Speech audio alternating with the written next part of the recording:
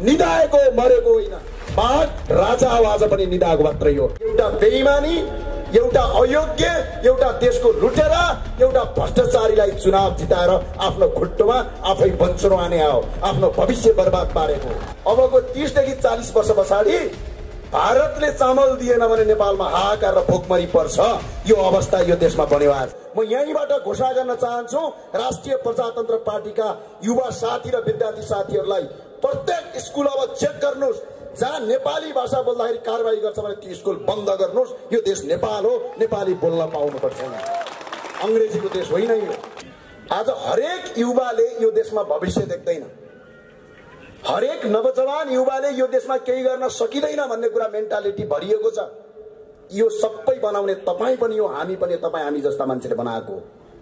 यसलाई परिवर्तन गर्न सक्नु। यही देशमा काम गर्न सकिन्छ। यही देशमा विकास गर्न सकिन्छ। यो देश मेरो हो म यो देशको नागरिक हो भन्ने भित्री भावनाको विकास गर्न आवश्यक छ। चाहे त्यो माओवादी हो चाहे त्यो एमाले हो चाहे त्यो काङ्ग्रेस होस् चाहे त्यो रापरवा होस् यो पार्टीको कुरा होइन। यो देशको आज सबभन्दा ठुलो रोग भनेको बेरोजगारी सबभन्दा ठुलो रोग भनेको नेपालमा केही हुँदैन। सबका सब विदेशमा हुन्छ भने मनस्थिति दिमागमा पाल्नु। यो भाइरस हो। यो भाइरसको अन्त्य गर्न सक्नु अब हामी युवाको सबभन्दा ठुलो चुनौती हो यो चुनौतीलाई आत्मसात गर्नुपर्छ? के छ? देख्नु भएको छ घर? एकछिन युट्युबमा जानुहोस्। हाम्रो नेपालमा बनेका घर र सुडानमा बनेका घर हेर्नुहोस् एउटै प्रकारका छन्। जहाँ जहाँ जमिन देख्यो त्यहीँ त्यहीँ घर बनाउने। जहाँ जहाँ उत्पन्न उत्पादन हुने जमिन छ त्यहीँ त्यहीँ घर ठडाइहाल्ने यही अवस्था यदि सिर्जित बन्यो भने यही अवस्था यदि रह्यो भने चागु नारायणमा आएर एउटा ज्ञानेन्द्र साईले भन्थ्यो भन्नु होला अबको तिसदेखि चालिस वर्ष पछाडि भारतले चामल दिएन भने नेपालमा हाहाकार र भोकमरी पर्छ। यो अवस्था यो देशमा बन्यो आज। आफ्नो घरको टमाटर न अनि अमेरिकाको पिज्जा र बर्गर माग्ने सन्तान जन्माउनु भएको छ अहिले तपाईँहरूले। सन्तान जन्माउनु भएको छ घरको गाईको दुध नखाने। ओहो यो त गाईको दुध खानु हुँदैन रूढिवादी हो रे। बुझ्नुभयो? अनि अमेरिकाको पेप्सी र ड्यू खाएर घरमा आउने सन्तान जन्मिया छन् अहिले यो देशमा। तपाईँहरूले जन्माउनु भएको छ। हामी व्यापारले पुराका पुरा परोजिती भइसक्यौँ। तपाईँलाई थाहा छ घरको अगाडिको गोलबेडा टिपेर अचार बनाउँदैन। अनि अमेरिका र युरोपबाट आएको अचार भाटबटेन्डे सुपर मार्केटमा गएर किनेर ल्याएर घर खान्छ। यस्तो किसिमको तपाईँको व्यवस्था भयो यो देशमा। हामीहरूलाई ठुलो चुनौती छ। राष्ट्रिय प्रजातन्त्र पार्टीमा हामी त्यत्तिकै केटाकेटीको गुच्चा खेल्नलाई लागेका होइनौँ। हामी यो राजनीतिकमा त्यत्तिकै आएका होइनौँ। तपाईँलाई लाग्छ होला नेता बन्न त हिजो पनि नेता थियौँ त अभियन्ता भएर जहाँ पनि आ गरेकै थिए। तपाईँहरूभन्दा ठुलो हुन्थ्यो। आज बरु स्वतन्त्र नागरिक हामीसँग जोडिएका छैनन्। किन हामी जोडियौँ भने हामीसँग तिनवटा विकल्प छन् अब।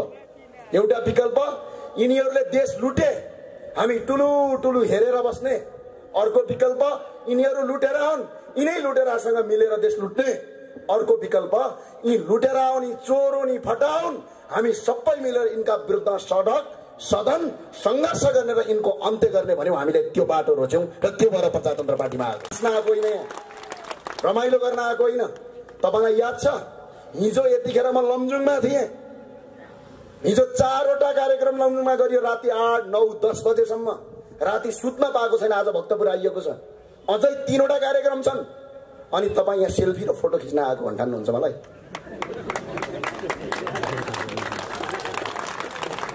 तपाईँहरू सबैलाई मेरो अनुरोध छ नेता भ्रष्टाचारी भयो भन्नुहुन्छ।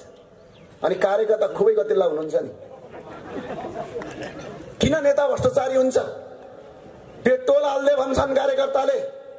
कार्यकर्ताको गर्लफ्रेन्डलाई जागिर लगाइदे भन्छ।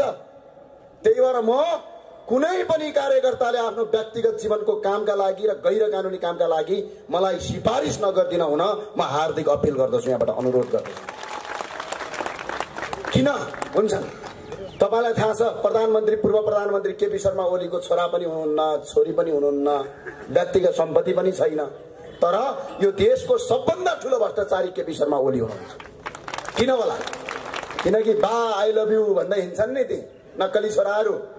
यिनीहरूको सम्पत्ति यिनीहरूको गर्लफ्रेन्डलाई पनि जागिर लगाइदिनुपर्छ केपी ओलीले खाने पैसा पनि दिनुपर्छ बाइकमा तेल हाल्ने पैसा पनि दिनुपर्छ। त्यतिले मात्र पुग्दैन यिनीहरूलाई। कोही छिमेकी भैँसी बेचेको नाटा लाग्यो मान्छेलाई पनि जागिर खुवाइदिनु पर्यो सरुवा गराइदिनु पर्यो बडुवा गराइदिनु पर्यो।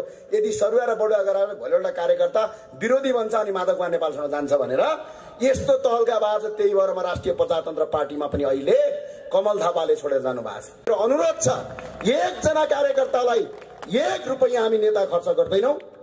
हामी एक पैसा खर्च गर्दैनौँ। रात दिन तपाईँको कार्यक्रममा आइराखेका छौँ। खान दिनुहोस्।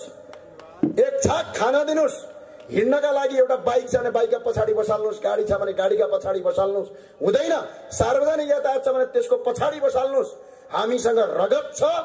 केही गर्न सक्ने सोच छ आशा छ भरोसा छ। यसका लागि तपाईँ साथ दिनुहोस्। बिस वर्ष यो देशमा काम गरौँ त्यसपछि देश विकास भएन भने भन्नुहोला यो देश विश्वको सुन्दर देश बनाउन सक्छौँ हामी।